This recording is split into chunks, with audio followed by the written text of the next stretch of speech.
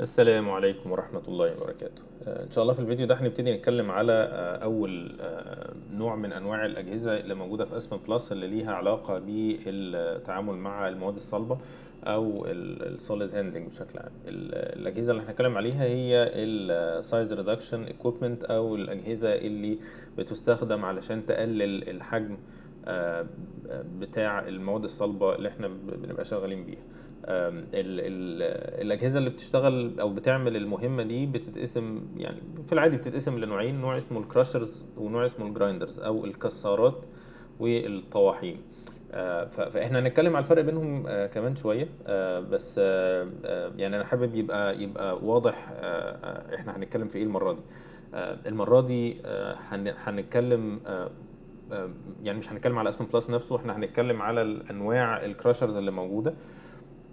إن هو Aspen Plus بي- بيسمح للمستخدم إن هو يقدر يختار نوع من من حوالي عشر أنواع مختلفة من الكسارات أو من الطواحين. آه، فيعني أنا شفت إن هو ممكن يبقى من المفيد ان إن إحنا نعمل نوع من أنواع المراجعة السريعة عليهم أو إن إحنا ن- سواء بقى حد مش عارف أو حد يعني عارف المعلومات دي ونسيها فنفتكر شوية هو هو بيشتغلوا إزاي وإيه هي الطريقة اللي هما بيشتغلوا بيها لأنها هتبقى مهمة إن الواحد يبقى عنده تصور لل- للجهاز ده بيشتغل إزاي وبيعمل إيه.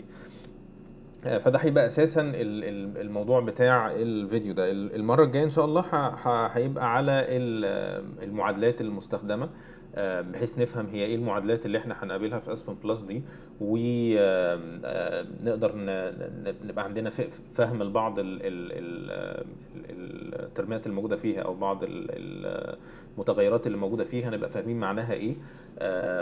بحيث إن إحنا لما نبتدي نتكلم في Aspen Plus نبقى عندنا يعني خلفية معقولة نقدر على أساسها نكمل آه، ال- الشغل ونبقى عارفين هي المعطيات دي تبقى المفروض تبقى في أرقامها عاملة إزاي أو ندور عليها فين أو نلاقيها فين وكده. آه، فده هيبقى المرة دي والمرة اللي بعدها آه، واللي بعدها إن شاء الله هنبتدي بقى نشوف في Aspen Plus فتاني يعني المرة دي إن شاء الله هو الهدف منها إن إحنا نراجع على أنواع الأجهزة اللي موجودة آه، ونفهم هي هي بتشتغل إزاي وبتعمل ف- فالأول عشان بس نبقى متخيلين إيه الأجهزة دي شغلتها إيه هو ال crusher وال grinder زي ما قلنا هي حاجة بتقلل حجم ال- المواد الصلبة. فهي فهي شغلتها إنها ب ب ب ب يعني يعني الجهاز نفسه بي بي بيأثر ب force أو بقوة على المادة الصلبة دي فيكسرها لأجزاء أصغر. آه، ف ف- يعني لو حد عايز يبقى عنده تصور برضو شوية هي بتشتغل إزاي؟ في مثال ظريف جدا جدا هي كسرة البندق أو كس اللي بنكسر بيها المكسرات. هي بتبقى عبارة عن آه، دراعين وبيضغطوا فلما بضغط بيكسر المواد الصلبة دي. آه، فبيبقى أنا ببقى محتاج أبذل طاقة وجهد على المادة دي علشان أقدر أكسرها. والكسر ده بينتج عنه إن بدل ما أنا عندي السطح الخارجي بس هو اللي موجود لا ده المادة الصلبة بيبتدي ال- ال- السطح ال- ال- المعرض آه، للهواء برة آه، بيبقى كتير بيكتر لأن أنا بدل ما أنا عندي السطح الخارجي بس لا ده أنا بكسرها فال- فالجزء اللي اتكسر دوت ظهر منه سطحين. وكل واحد منهم هكسره هيطلع منه سطحين أو أكتر على حسب عدد المواد أو أو عدد الجزيئات اللي هتطلع منه. فهو ال- الطاقة اللي أنا بعملها دي بينتج عنها زيادة في في السطح اللي موجود يعني. ال crushers دي بقى ممكن أو الكسارات ممكن نقسمها. هي في Aspen Plus الاثنين بالنسبة له واحدة واحدة. يعني هنشوف إن شاء الله لما نيجي نتكلم في Aspen Plus هما الاثنين حاجة واحدة. جوه بقى بقدر أختار هي مثلا كسارة ولا طاحونة يعني على حسب الاختيار اللي أنا عايز أختاره. فالكسارات في نوع نوع منها بيبقى اسمه ال coarse crusher اللي هو لل- للجزيئات الكبيرة. آه، وفي ال intermediate اللي هي بتبقى حجمها أصغر شوية وفي ال grinders اللي هي بقى اللي هي بتحول لطحين يعني الحاجة مطحونة يعني بتطحن المادة بحيث إنها تحولها لمادة باودر يعني بودره في العادي لو أنا عندي مادة صلبة موجودة باحجام كبيرة فأنا في العادي لو أنا عايز أوصلها لجزيئات صغيرة أكسرها لجزيئات صغيرة فأنا بحتاج أعديها على كذا مرحلة. مفيش مفيش كسرة واحدة بال بال بالقدرة إن هي تدخل لها حاجة من هنا من ناحية وتطلع لك من الناحية التانية بودرة يعني حاجة حاجة ناعمة جدا. آه، ففي العادي أنا بيبقى عندي كذا وخصوصا لو هي مادة مادة صلابتها عالية يعني. آه، فبالتالي أنا بيبقى عندي كذا مرحلة فبيبقى في عندي حاجة اسمها ال primary وال secondary دي برضو حاجة هنشوفها في Aspen Plus يعني في اللي هو المرحلة الأولانية اللي هي بتبقى بت- بتكسر الجزيئات الكبيرة لحاجه أصغر شوية وبعد كده ال secondary من أصغر لأصغر وهكذا. وأحيانا بيبقى في مرحلة ثالثه وعلى حسب بقى ال- ال- المواد الصلبة دي آه، حجمها عامل إزاي وأنا محتاج كام مرحلة وكده. آه، ال ال ال لما أنا باجي أكسر أي مادة من المواد اللي موجودة مادة صلبة يعني أنا في ال- في الحقيقة ببقى قدامي حاجة من من من أربع مودز يعني أو أو أو يعني أربع طرق للتكسير. آه، الطريقة دي ممكن تبقى في جهاز أو مش موجودة في جهاز تاني على حسب نوع الطريقة اللي الكسر بيتم بيها. ودي حاجة لما هنخلص بقى إن شاء الله نتكلم على الأجهزة هنبتدي نرجع هنرجع تاني لل- لل- للأنواع دي ونحاول نشوف مين فيهم ال- المناسب لأنهي جهاز. ففي حاجات بتبقى بال compression ان أنا زي كسارة البندق كده إن أنا عندي حاجتين بيضغطوا فالضغط ده هو اللي بيكسر الماده الصلبه في حاجة اسمها ال impact. ال impact يعني زي كده لو في آه، يعني حاجة حاجة طايرة وقع مثلا آه، زي مثلا الناس اللي بيضربوا كرة البيسبول مثلا. هي الكرة بتبقى طايرة وهو بيمسك حاجة وي- وي- ويخبطها وهي وهي وهي طايرة. هو مش بيضغط بين يعني مش مش بيفعصها بين بين سطحين لا ده ده هو بيخبط خبطة جامدة فبتتكسر. فده اسمه ال impact. ال attrition شبهه جدا بس هو الفرق بين الاثنين إن ال impact بيبقى أكتر لو لو أنا الكسر دوت بيكسر ال- ال- المادة نفسها من جوه. يعني هو بيقسمها لأجزاء من النص يعني مثلا بيقسمها نصين ثلاث تلات ولا حاجة. ال attrition إن هو بي- بيكسر حتت من ال من ال من, بره. يعني هو مثلا هي كبيرة كده فحتة تقع من هنا حتة تقع من هنا حتة تقع من هنا فيفتفتها من بره لجوه لكن ال impact من جوه لبره. يعني هو بيكسرها من جوه وبعدين بعد كده تطلع لبره. فالفرق بينهم مش كبير قوي. يعني هو في الحالتين هو هو نفس الحكاية. يعني لو بصينا على الرسمه هتلاقيها تقريبا هي هي. ال abrasion هي بتبقى بدل ما أنا الف- القوة اللي أنا ببذلها بتبقى عمودية على المادة الصلبة دي لا هي بتبقى موازية ليها. فبتاكل في السطح بتاعها آه، وهي وهي يعني لل- لل shear دوت لل الحركة الموازية دي يعني. آه، فهم دول الأربع طرق. هنبتدي نتكلم على أنواع ال crushers اللي إحنا هنقابلها في Aspen Plus هو هو في أنواع أكتر بس هو يعني وال crushers أنواع كتير جدا جدا جدا. بس هم دول العشر أنواع اللي موجودين ودول اللي هتكلم عليهم وأظن إن يعني هيغطوا معظم الطرق بتاعة ال crushing اللي موجود اللي موجودة. فأول نوع حاجة اسمها الجو كراشر الجو كراشر الجو اللي هو الفك يعني اللي هو اللي هو البق بتاعنا. فال- فالفك ده عشان بس نبقى فاهمين هو إحنا بناكل إزاي إحنا إحنا عندنا الفك السفلي ده بيتحرك يطلع وينزل يطلع وينزل يفعص الأكل وبعد كده الأكل دوت يتكسر جوه البق فلو آه، هو داخل مثلا بحجم كبير بيبتدي يتكسر ب- ب- بتبقى قطع صغيرة فنقدر نبلعها وناكلها والمعدة تستفيد منها. فده اللي بيحصل في الفك إن هو في جزء ثابت وفي جزء متحرك وإن الجزء المتحرك دوت بيطلع وينزل آه، أو أو بيقرب وي- ويبعد يعني. فهو ده اللي بيحصل هنا بالظبط إن أنا عندي هو اسمه جو كراشر لأن أنا عندي فك آه، فك ثابت وعندي فك متحرك. وكل بقى ال- ال- الهيصة دي كلها هدفها إن أنا بس إيه أدي ال- ال- الحركة من الموتور علشان أوصلها لهنا. في بقى ال- ال- ال- ال- البكرة دي ومش عارف وبتحرك ال- ال- التروس والتروس مش عارف بتعمل إيه. يعني قصة طويلة كده المهم في الآخر إن ده آه، ده ده اللي بيتحرك كده وكده. والمواد الصلبة بتنزل هنا. أنا بقى بتحكم في حجم المواد الصلبة اللي هتخرج من ال- الفتحة اللي في الآخر دي. يعني كأن ده مثلا ده ال- ال- البلعوم عندنا مثلا ولا الزور ولا ايا كان اسمه. فهو فهو ده ال- ال- المكان اللي بيخرج منه المواد الصلبة في الآخر. فهي مش هتخرج إلا لما حجمها يبقى أصغر من الفتحة دي. فده اللي بيحصل. عشان كده يعني لو حد لو حد أكل حاجة كبيرة بتقف في زوره لأن لأن هي زوره زوره ضيق عليها. فنفس الحكاية. هي هي دي برضه ده, ده الزور بتاع ال- الجو كراشر أنا بقدر أتحكم في الفتحة دي آه، من خلال ال ال الدراع ده. فالدراع ده ممكن أقربه وأبعده بحيث إن أنا أتحكم في الحجم بتاع المواد الصلبة اللي خارجه آه، ال- الفيديو ده لطيف جدا. هو بيورينا إزاي الجو كراشر بيشتغل. فهو هو زي إحنا زي ما إحنا شايفين ده هو ال- ال- الفك الثابت وده هو المتحرك. فهو بيتحرك بحركة يعني إيه eccentric كده آه، بحيث إن هو بي- بي- بيكسر المواد الصلبة ان هو بيفعصها بين بين الاثنين وهي طبعا بحكم الجاذبية المواد الصلبة هتنزل تحت فهي كل ما هتنزل آه، كل ما هيبقى الضغط عليها أكبر وبالتالي هتتكسر. الدراع ده اللي بقول لكم عليه بقى من شوية إن هو ده ممكن يضيق أو يوسع علشان يتحكم في حجم المواد الصلبة اللي خارجه فده أول نوع من الكراشرز اللي هو الجو كراشر واضح إن هو بيخش له حاجات كبيرة قوي وبتخرج أصغر شوية. النوع الثاني اسمه الكون كراشر. الكون كراشر دوت هو باين من اسمه إن هو في كون يعني يعني قرطاس يعني على شكل مخروطي يعني. فهو ده ده اللي بيبقى موجود فيه فعلا إن هو بيبقى فيه شكل مخروطي كده. والحركه بتجيله من من تروس هنا والحركة دي بتخليه يلف كده. بس هو يعني بحيث إن المسافة بين ال- ال- ال- القرطاس ده نفسه أو الكون ده نفسه أو السطح الخارجي بتاعه يعني وبين السطح الداخلي بتاع الكراشر نفسه هو ده اللي بيحصل عليه عملية التكسير. فخلينا برضو نفهم آه، يعني الفيديو ده هيسهل لنا الأمور شوية. فهو لو لو جينا نبص عليه من جوه هو ده ال- ده الموتور اللي بي بيوصل الحركة وده ال- ال- الترس اللي جوه اللي بيلف وبتاع. فهو ال- ال cone بيلف بالمنظر ده. تلاقي إن هو بيلف كده إيه مش مش مش مش بشكل symmetry يعني هو بيلف يعني eccentric بيسموه eccentric يعني.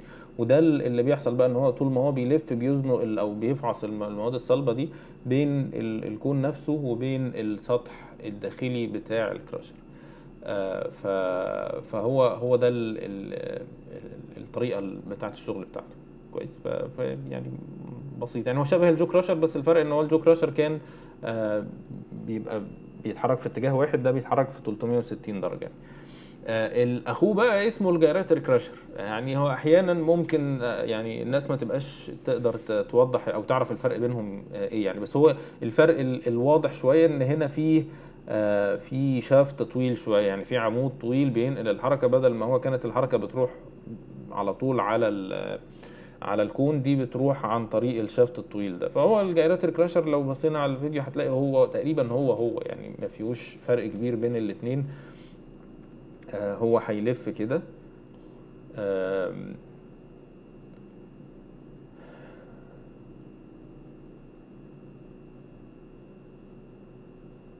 وبعدين أهو يعني هنشوف دلوقتي أهو آه، والمواد الصلبة برضه هتنزل هنا وهتتفعص بين ال ال ال الشكل المخروطي ده وما بين السطح الداخلي هي هي تقريبا.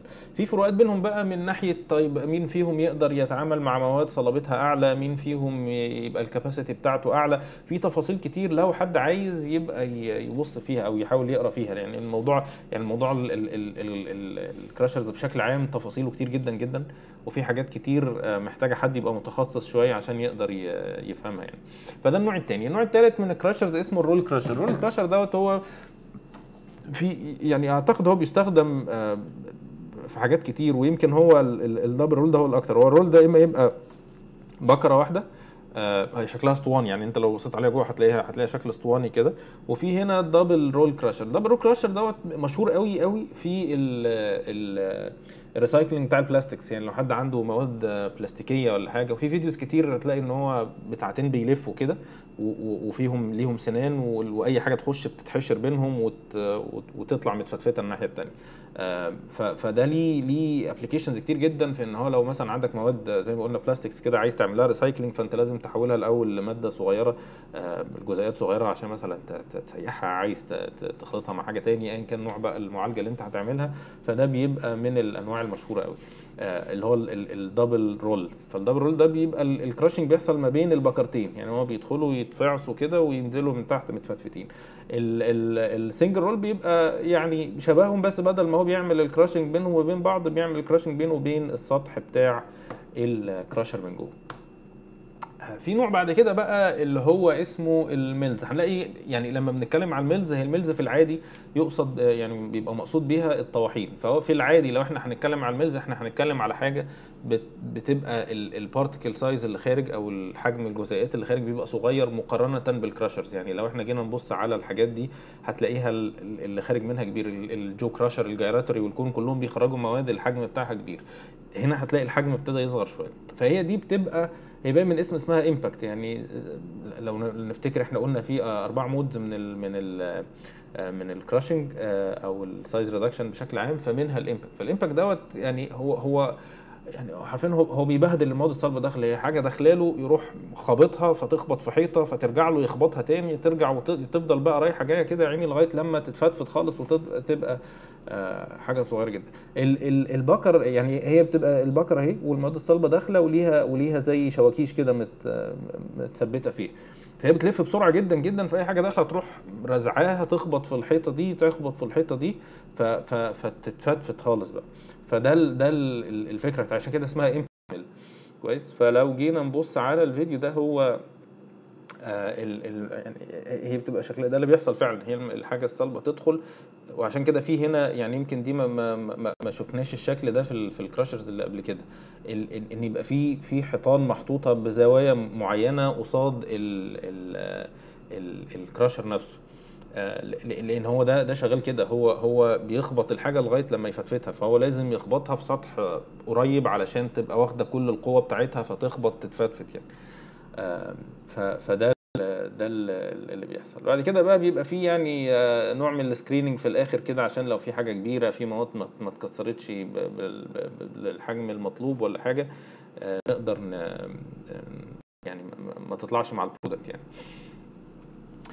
في بعد كده حاجة اسمها ال cage mill ال cage mill ده يعني هو ال- التصميم بتاعه معقد شوية آه، عشان كده أنا حاولت أعمل الرسمة دي علشان تسهل الأمور يعني تخلي الموضوع أسهل لل- للتصور يعني.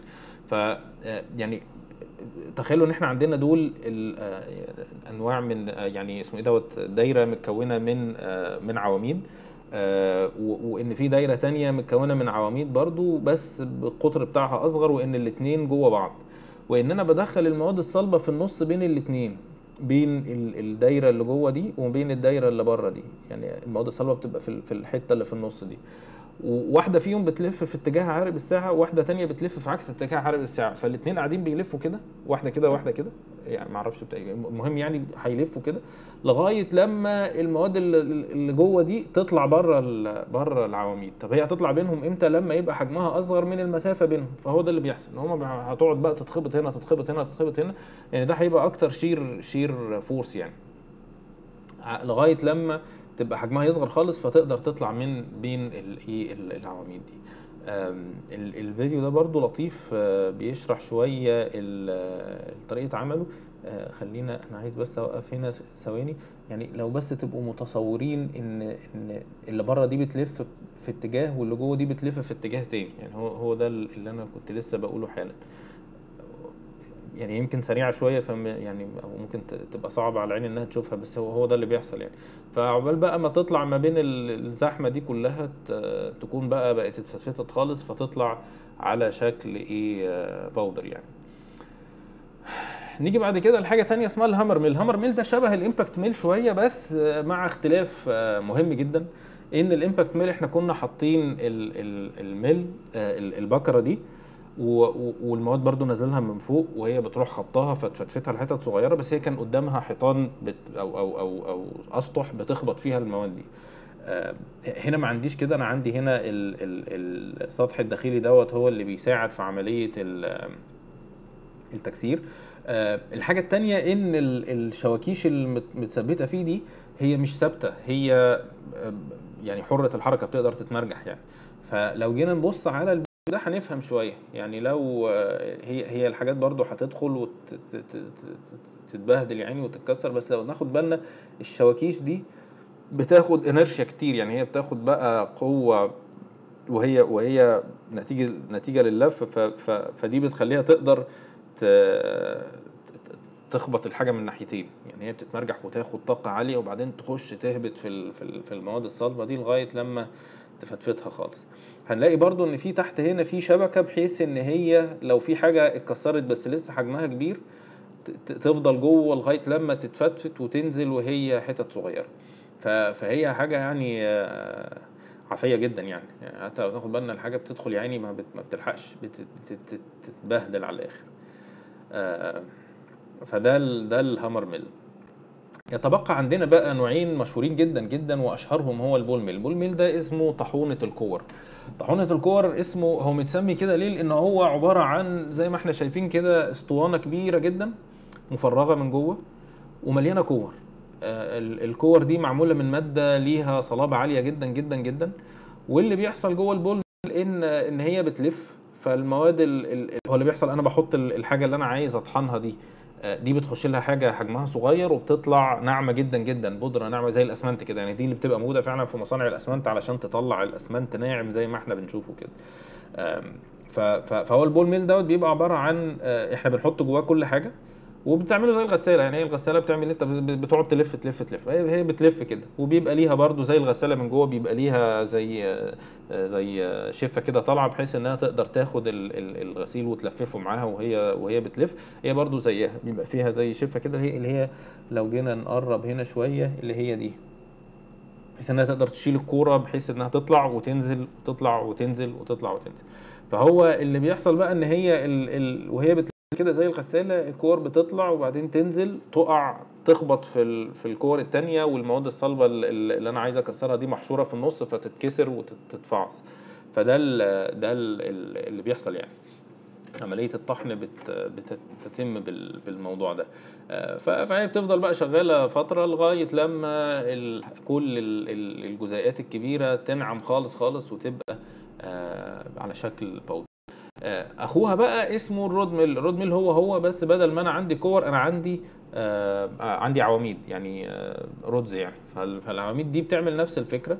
ولو ناخد بالنا هي برضو بتبقى آه بتقعد وتطلع وتنزل وتطلع وتنزل وت- وتطحن بقى أي حاجة في النص تتفعص بين ال- الرودز وبعضها لغاية لما تنعم خالص خالص خالص. لو ناخد بالنا برضو من الحاجات ال- اللطيفة في الموضوع ده إن إحنا لو بصينا على الرودز دي هنلاقي إن الاقطار بتاعتها مش ثابتة.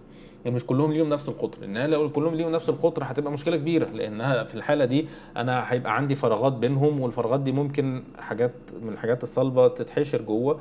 وتطلع وهي لسه كبيرة. فعلشان نملى الفراغات دي بقى بينهم فبقينا نحط آه، رودز حجمها أصغر أو القطر بتاعها أصغر بحيث إن هي تملى أي فراغ موجود فما تسمحش لأي حاجة تطل... تعدي إلا لما تكون يعني اتطحنت آه، بشكل جامد جدا. ال- الفيديو ده لطيف إن هو بيورينا المواد الصلبة اللي داخلة بتبقى شكلها عامل كده حاجة كبيرة يعني. ولما بتخرج آه، بتبقى ده ده, ده كان مش عارف منجنيز ولا مغنيسيوم حاجة زي كده يعني وطالعة ناعمة خالص خالص كأنها يعني آه، زي التراب كده. فده ال ده ال rod mill. آه لو جينا نبص بقى على ال solid size اللي أنا أو أو حجم المواد الصلبة اللي أنا ببقى عيني عليها وأنا يعني بشتغل بال- بال crushers أو أو بال- بال grinders أنا أعتقد إن في هنا حاجة مش مظبوطة إن الثلاثه دول مش صح. آه أنا آسف دي غلطة. آه، فهلاقي إن الجايراتوري كراشر والسنجل رول والمالتيبل رول والجو والكون اللي هي ال crushers بشكل عام بتاعة coarse particles اللي هي الجزيئات الكبيرة. هتلاقي إن هي بيخش لها حاجات كبيرة قوي وبتطلع حاجات متوسطة الحجم. بعد كده عندي بقى ال cage mill وال impact mill وال hammer mills اللي هي الحاجات اللي كان بيخش لها ال- ال- المواد الصلبة وت- وتخبطها وتفشفشها حتت أصغر دي. آه، دي بتبقى في ال intermediate particles. ال ball mill وال rod mills واي يعني حاجة تاني بتطحن تخليها powder آه، هيبقى هيبقى هم دول بتوع ال fine particles يعني ده ده الهدف إن أنا أطلع آه، في الآخر أخد مواد متوسطة وأخرجها ناعمة جدا. آه نشوف بقى حاجة تاني. نرجع لل breakage modes آه دي بقى أنا ممكن تبقوا تفكروا فيها براحتكم يعني بس آه ال ال الطريقة اللي ال crushers وال grinders دول بيشتغلوا بيها علشان يحققوا موضوع ال crushing أو ال grinding آه فهلاقي إن إن في حاجات كتير جدا مع- معظم الحاجات بتاعت ال crushing بتعتمد على ال compression لأنها بتبقى حاجات كبيرة ولازم تفعصها بين بين حاجتين يعني. ممكن تلاقي بالنسبة لل rolls هلاقي فيها abrasion و attrition شوية. هلاقي بالنسبة لل impact mill وال hammer mill هم أساسا impact لأن هي بتبقى حاجة طايرة والواحد بيطيرها. ويعني المفروض يبقى فيها شوية attrition كمان مع ال مع ال impact ال ball mill وال rod mill بيبقوا آه، أكتر طبعا abrasion لأن هي حاجة بت- بت- بتتفعص بين سطحين.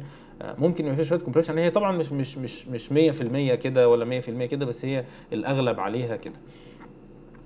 فده ده ال يعني إيه ال- الفكرة سريعا عن الأنواع بتاع ال crushers وال grinders أنا طبعا في تفاصيل كتير جدا أنا مش هقدر أخش فيها علشان الوقت وعلشان أنا مش مش مش خبير في الحاجات دي قوي.